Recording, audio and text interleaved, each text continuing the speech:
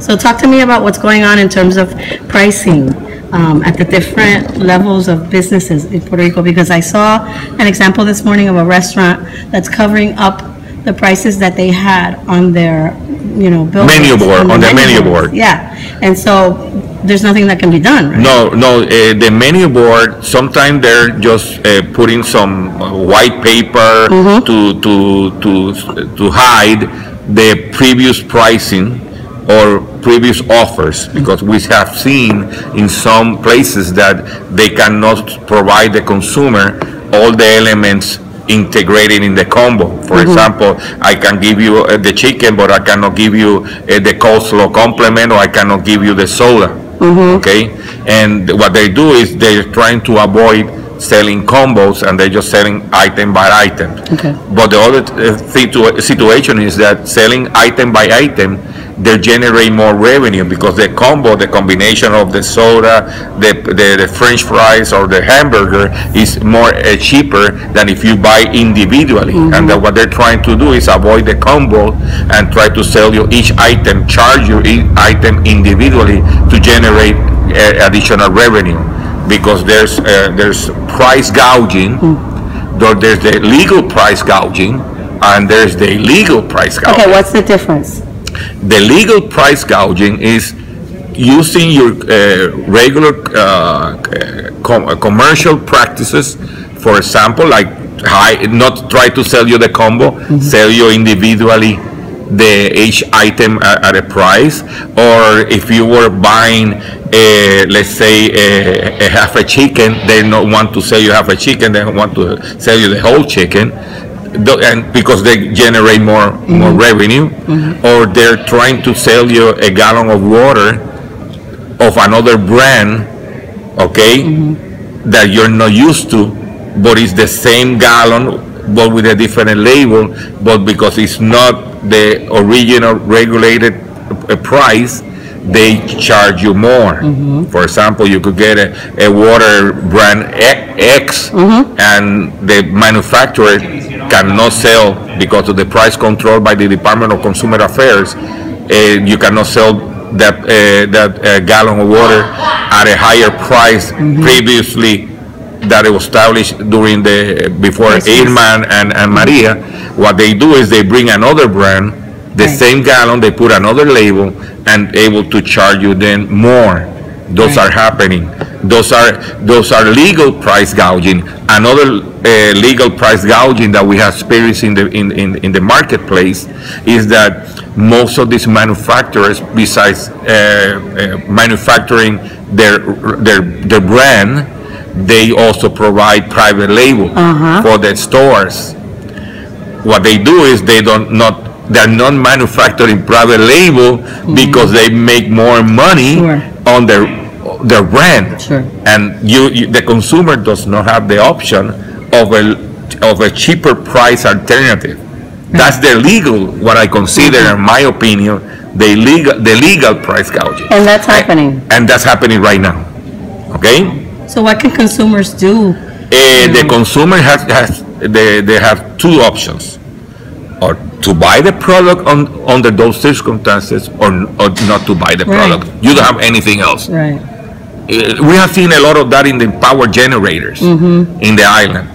This power generator was say brand x and was uh, selling for $400 now instead of bringing the store or the distributor brand x is bringing brand b the same or maybe a, a cheaper model, but because it's a, ch- another brand, or maybe with uh, ignition and not pull, can overprice the product because it's not charging you this for uh, this. You know, it's not, uh, charging you more for the same product. Sure. And that situation happened.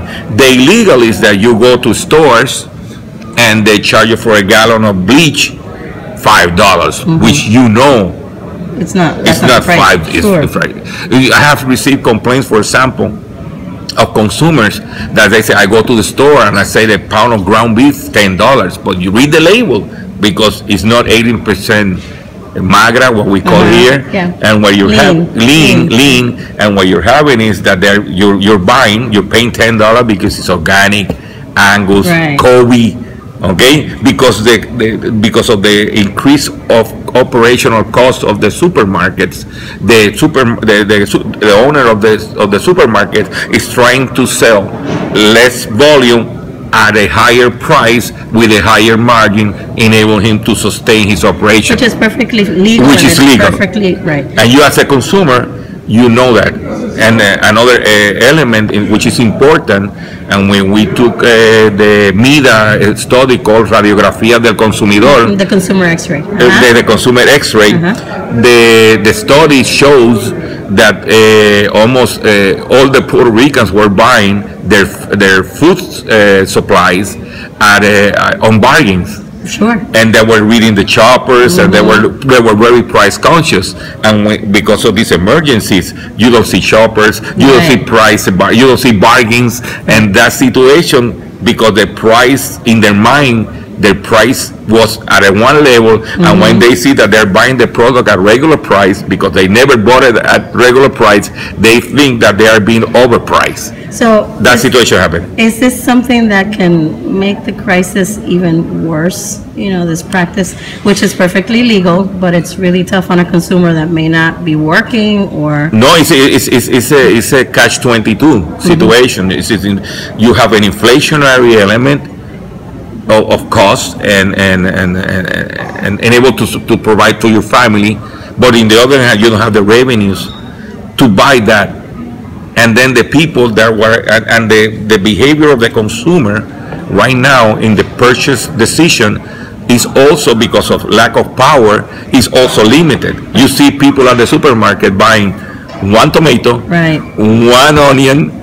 Uh, They're gonna eat it that day. That gonna eat it that day, and they're not buying, uh, taking advantage of buying in bulk, for example, because they, they, they don't have that, that situation.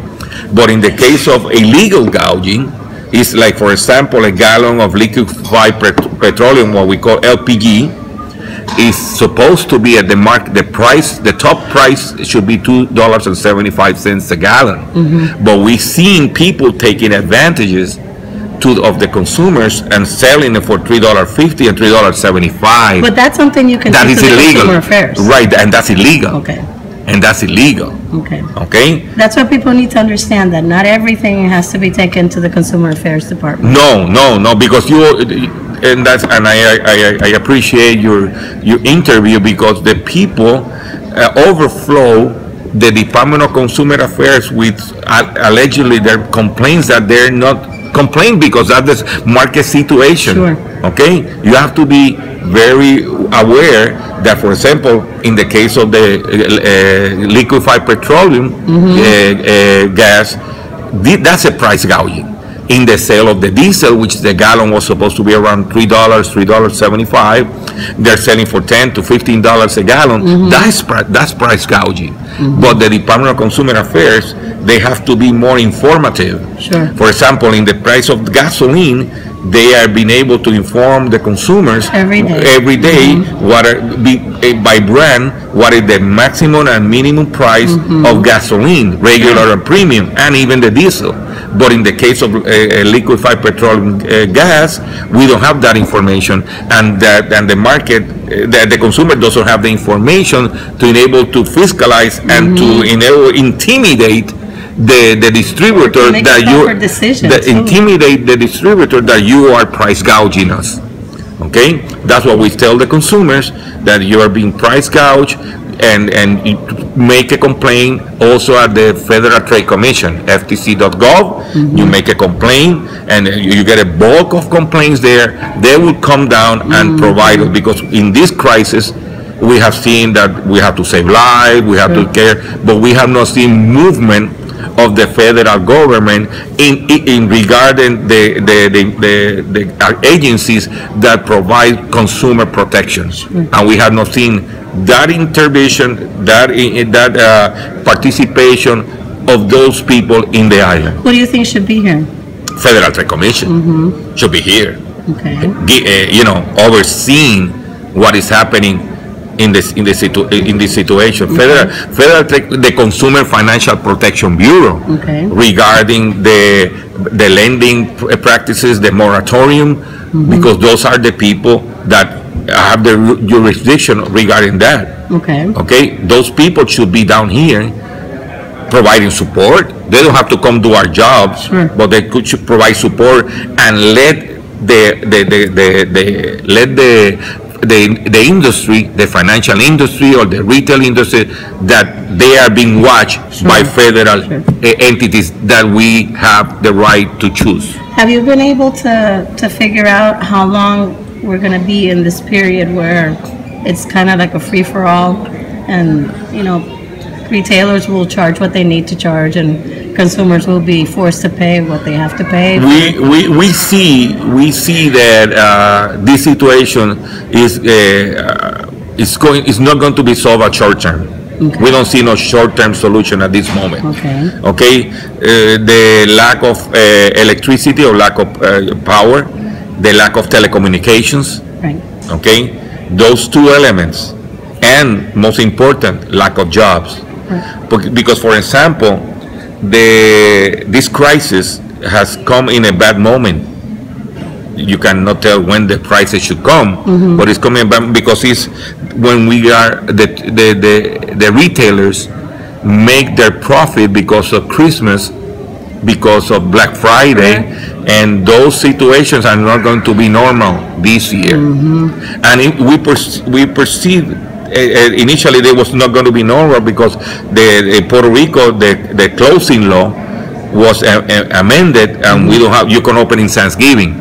Okay, that but now you can open. 24 hours and the people might not have the money Right, um, right. or, or, or the merchandise. I went to this store yesterday, this uh, hardware chain of U.S. har- uh, hardware chain, Mm-hmm. and they uh, say that they have uh, problems to get all their merchandise in, and they have and people that want to buy, they took out, out from the warehouses all the merchandise that was going to be sold in Black Friday. they put it in Oh, wow. display, and they're selling it right now. wow, okay, Okay, that's the because of the need, no? because of the need and they have to uh, justify the sales volume they have to justify their, their, their profits they have to justify their business Do you have any idea how retail will be affected? You know, the numbers that the government puts out are, you know, two months behind. Do you have any idea, looking ahead, how retail will be affected? we we see that we perceive oh, that the retail sector will shrink uh, uh, at uh, double digit Wow, could be from 10 to 20 percent wow. Because because the trending was going you know, it was a trend that Yeah. it was happening right, because less population, mm-hmm. less revenues, right. okay? Retail uh, environment in the U.S. is very weak. Mm-hmm. They're closing stores. They're shrinking their, their, their, their, their platform of doing business, and those things are affecting the island. Mm-hmm. We just saw that Nordstrom left Puerto Rico, Saks left Puerto Rico. Saks say that it could Is it be confirmed? well, I think one well, them is well, confirmed. One, well, Saks is confirmed. Yeah. Because it, the, the numbers does not add. Mm-hmm. But Nordstrom, the, when you see their first year performance of, of, of the store ba- and the investment that they made, it was not adding up, Mm-hmm. okay? And we have seen a lot of businesses using the excuse of the hurricane To leave? to leave than to close operations. We'll see less supermarkets. For example, there's a supermarket in, in Carolina, in Carolina that they decided to close, Wow, okay? Econo del Comandante decided to close. Eh, the small supermarket in Avenida Esmeralda closed. closed. And we see, and, I wonder how many more, you know, and, and we're seeing that pattern uh, that, that, w- that was going to be happening. Mm-hmm. Okay? You will see more retail space empty, Mm-hmm. available, okay? In, in, in, in the retail environment. and obviously it's not a good time for new faces to come in because Eh, the economy is not, Right, but, but I always see, eh, I, I, I don't, I don't see things pessimist. okay, a good operation, a good business could come in and make some money. because you come with a fresh start. Sure. You're not, you're, you're not bagging all the losses and the situation. You come in on a fresh start. Puerto Rico will recoup because we will have a better uh, power uh, infrastructure. We will have less people, but people that wants to live here. Okay, I'm not saying that the one to left didn't want to live here, but those are we have to stay here. Mm-hmm. Okay, we are a loyal consumer. The top performers of the U.S. chains are in Puerto Rico. Best Buy number one, mm-hmm. number two, number three, or number four, number five. The three top stores in Best Buy are in Puerto Rico, And they're still closed though. and they're still closed because they decided not to open because this in September, October is the weak season, sales season. I see, okay, You know, and I'm just I'm going to make the money sure. uh, they were coming in ahead of, Uh-huh. forecast. Okay. You know, So why can- should I open? So they can afford these right? They, wait, why, Okay. why, why should I open it to and, and not sell a vol, not not have a good sales volume, and not uh, with a cost, and whatever I gain in the prior months, I will Mm-hmm. lose it. Okay, Okay, but they're not leaving. they're not leaving. Okay. They're not leaving because their stop. People are concerned. And the, no, no, the top stores are in Puerto Rico. Mm-hmm. Say, Hato Rey store is the number one. Okay, Eh, Plaza Rio Hondo or Plaza Carolina is number 2 Mm-hmm. Okay? so, you know, you, you're, you're an expert in this whole consumer behavior, you know, um, arena.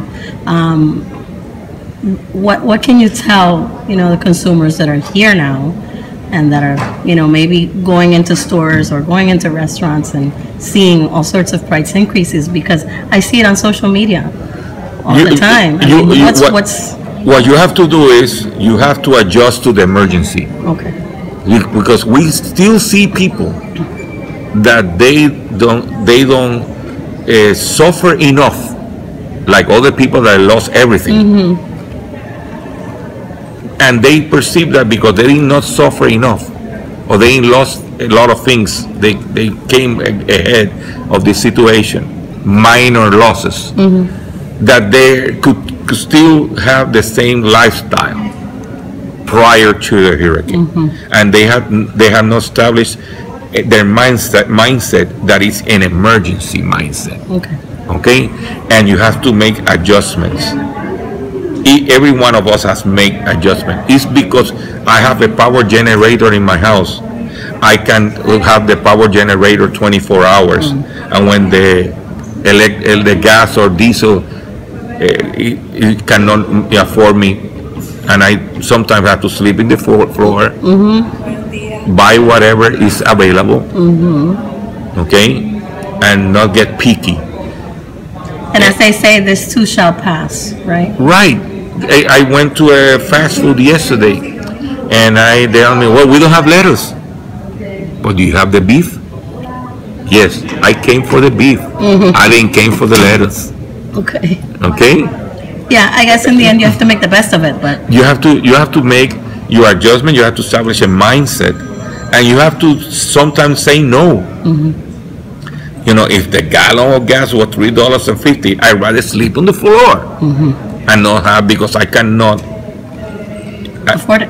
no, I'm not afford it, and not maybe I could I have the money to afford it, but it's not ju- uh, justified to let these people take advantage I of see. me. I see. And you as a consumer, you have to learn, and this is an opportunity to be more consumer savvy mm-hmm. because of the hurricane.